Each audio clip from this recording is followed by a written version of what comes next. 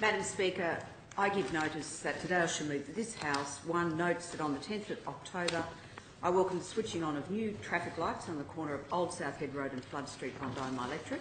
to address safety issues for drivers and pedestrians. Notice that the project included replacement of existing pedestrian refuge with concrete median strip, uh, curb ramps so pedestrians can easily cross the road, new footpaths and changes in traffic signposts. Thanks local residents Bruce Morrow, uh, Marilyn Atlas, Levy Menica, who joined me to welcome the installation of these safety measures, as well as support from local residents Anne Fritz and Juliette Levine, who campaigned tirelessly to have this safety issue addressed. And I also wanted to thank Deputy Council or Deputy Mayor of Waverley, Council Tony Kay, Councillor Bill Mouroukas, and Jewish House CEO Rabbi Mendel Kastel for attending on the day and helping celebrate this great outcome for my local community.